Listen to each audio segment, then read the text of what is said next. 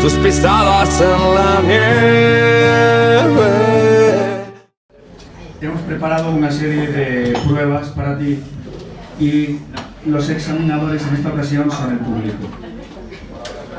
Que te digan palabras o frases tres personas. Sensualidad. Linda locura. Amistad.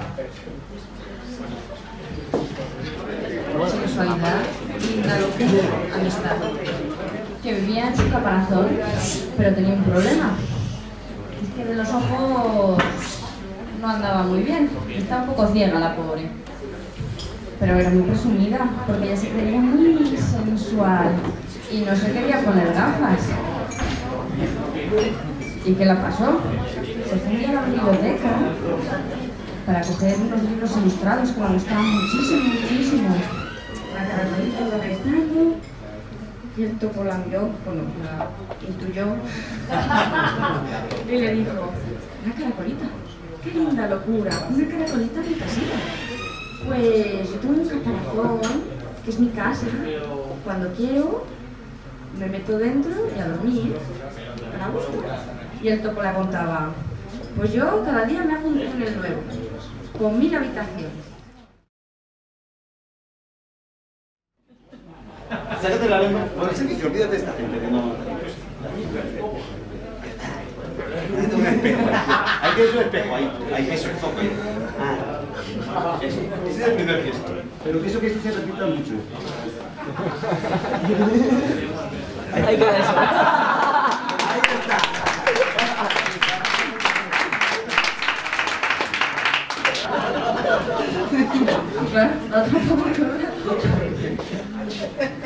Total, se entrena.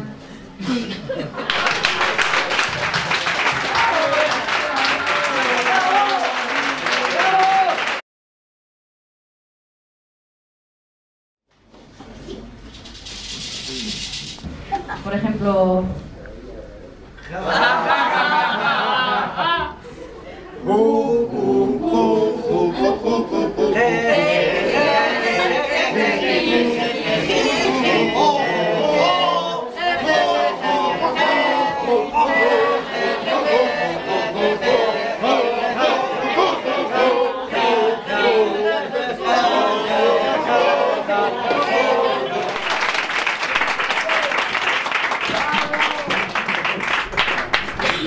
Que la probemos, un fuerte abucheo.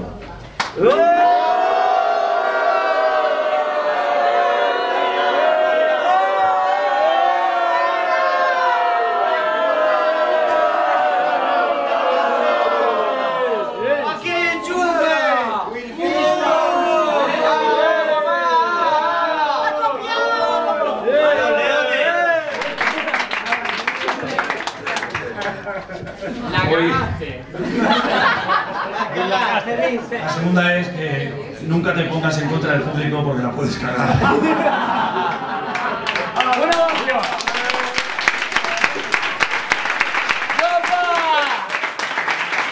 Te vamos a pedir un favor, y es que tú nos asistas a la investidura. Y siempre debes tener algo que te proteja, algún objeto que para ti sea protector. Está bien que inventes sus propios cuentos, pero también tiene que leer, y sobre todo, leer libros antiguos, que no estén suavizados, que tus cuentos nunca estén suavizados. Verdad. Pero lo primero, lo primero, primerísimo, yo solo quiero dedicar a una persona que yo sé que no está aquí físicamente, pero la tenemos todos dentro.